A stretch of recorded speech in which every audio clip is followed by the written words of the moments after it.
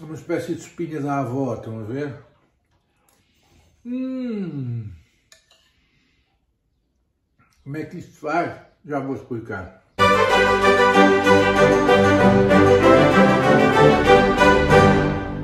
Este é um eu quero é diferente. Ah, é diferente, mas não deixa de ser o eu quero é tacho. Eu faço ideia. O tacho, o maravilhoso tacho onde foi feita esta sopinha que aqui está. Oh, oh, que maravilha! E já está ali o pratinho ao lado, onde eu a vou provar.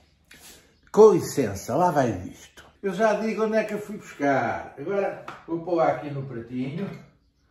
Ah, ui, estão a ver? Maravilha. Eu vou mostrar melhor. Olhem só para isto. Olhem só para esta maravilha. Isto chama-se sopa camponesa. É. Hum. Ui, que sopinha. É uma espécie de espinha da avó, estão a ver? Hum. Como é que isto faz? Já vou explicar. Hum.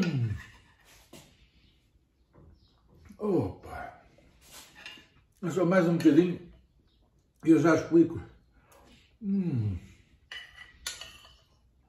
Ui, está quase, está quase. Estou quase a explicar. Hum. Hum. Pronto!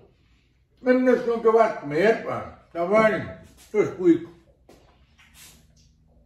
Isto vem em, em recipientes deste. Estão a ver? Enfim, o que é o prato ainda sobrou. Uma pratalhada valente. São João das Vampas. Mas eu posso explicar isto e estar a comer. Vocês não levam a mal, pois não. Pronto. São João das Lampas. Hum. Café da aldeia. Café da aldeia. Ao fundo. Ao pé da saída passa fora. Quem vai assim passa fora. Ali um cafezinho à esquerda. Uma esplanadazinha cá fora. Hum. Oh, que maravilha. Podem lá ir comer. Podem lá ir comer ou trazer para casa. Hum. Eu vou lá, tomo um cafezinho e venho aviar de sopa.